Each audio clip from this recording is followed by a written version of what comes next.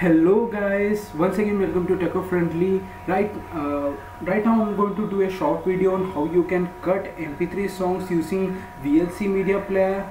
Now uh, guys uh, many of you might know about this thing but uh, most of the guys don't know about this feature of VLC media player. There are many other such useful uh, features of v hidden features I should say of VLC media player that many of you might uh, not know. Uh, so I will do a do another video of the compilation of all such features all the hidden features of VLC media player that you guys usually don't know so guys without no delay let's get into the video.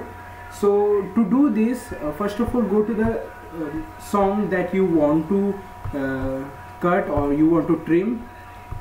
So here it is. Uh, just right click and uh, open it with VLC media player. So after the song opens uh, go to the view menu on the menu bar and just click on the advanced control or just make sure that it is ticked so uh, after doing it uh, an advanced control bar will appear at the bottom of the media player just like this. So now start the song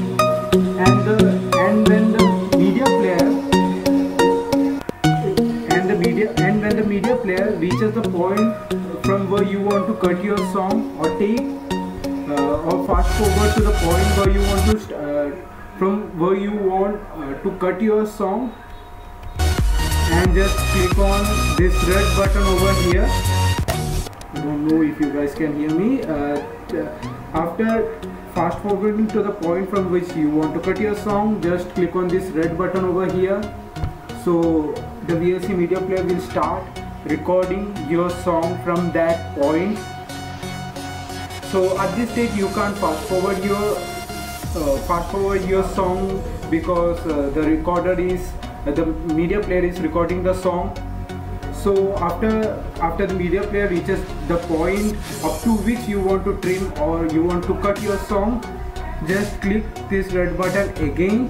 Now uh, you won't see any process or any commands or anything going over your screen while doing this but uh, your song will be saved. So I'm gonna show you where it's gonna be saved. Uh, your recorded or your trimmed uh, song or the trimmed part of the song will be saved in the musics musics folder in your my computer. You can access it from um, after going to my computer uh, from the left side of your window just go to the music. So here you can see uh, the media player the VLC media player has saved uh, my recorded song over here. You can open it with any media media player or any or any uh, any sort of uh, editor or anything like the any player. So just let's see if it work.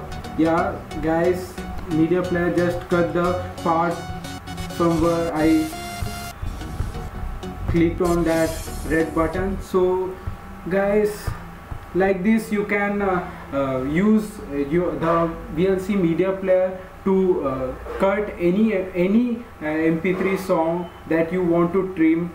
Uh, so guys now the thing is whenever you guys want to um, want to cut or uh, trim some song for any purpose you guys just go over some sort of pirated sites like torrent websites or any other sites like that and download some sort of uh, third party softwares or third party mp3 cutters.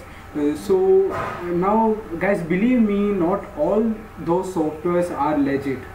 Many of them are created for the purpose of snooping hacking or injecting adware into your PC and uh, you guys might not be knowing the impact or the impact of damage such softwares can do to your P uh, uh, computer uh, the way it injects adware or uh, spyware into your PC uh, through which they can steal your data. Now I'm not saying that all the cracked software all the softwares available in such sites are like that but many of them are so now what's the need? If the vlc you can do uh, your job or the VLC player is doing your job what's the need to go uh, for some third party softwares or installing uh, an extra software in your PC so guys uh, this was how you can uh, cut your mp3 songs uh, using VLC media player.